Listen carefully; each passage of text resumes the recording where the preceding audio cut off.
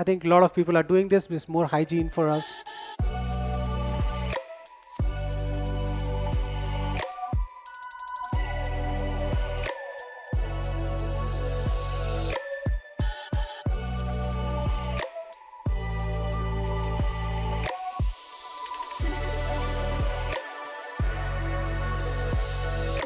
The last thing which I will tell you that most complex thing in all of this is that we are dealing with young children.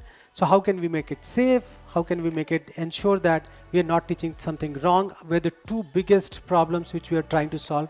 We have started experimenting with or piloting with thousands of students. Uh, we might be a little late, but we think Vista can solve a lot of problems in the education domain, whether from teacher point of view, learner point of view, or even through learner, the parent point of view, they will have much more interesting insights in the day to day.